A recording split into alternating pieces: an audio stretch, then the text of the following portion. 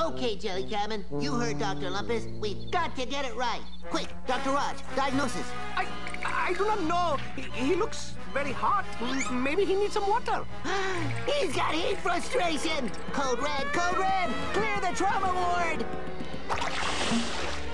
Patient still appears aquatic and unresponsive. Patient is flatlining. Quick, Dr. Raj, call obstetrics and prep for surgery. But I have not even scrubbed yet. Ready for shock therapy.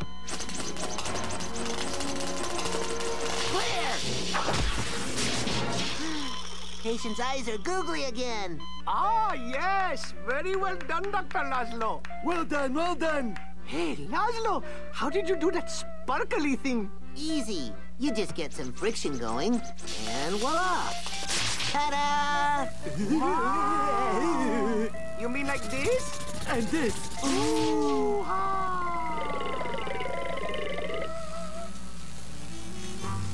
All right, this looks about right. Let's settle this once and for all. Gretchen, your nail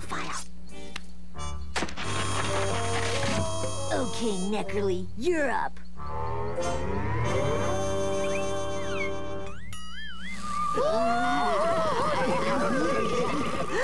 What is it, Nina?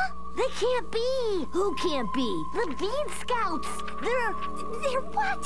Nina? Electroid spaceborgs. They've come to blow up the Earth, just like in my book.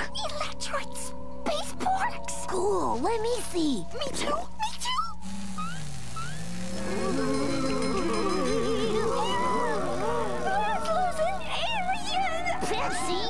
Calm down. Get your foot out of my nose.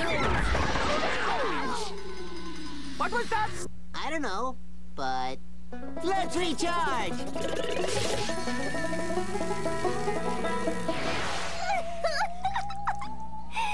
I never thought my Lazlo could be an alien. Well, Patsy, he's not just any alien. He's a an electroid spaceborg that feasts off the host planet's population. That's enough. Okay, okay.